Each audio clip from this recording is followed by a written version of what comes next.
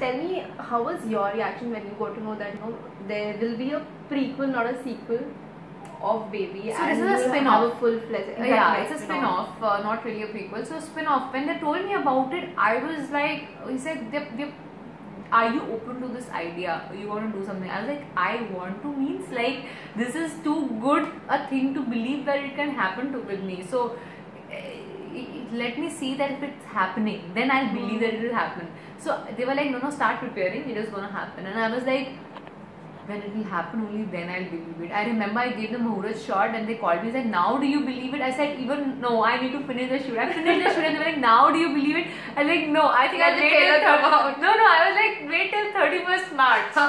then I'll believe that it has happened. So it's too good to be true kind of a feeling for me even now. So yeah, I'm waiting for 31st March as anxiously as a lot of other action thriller fans are.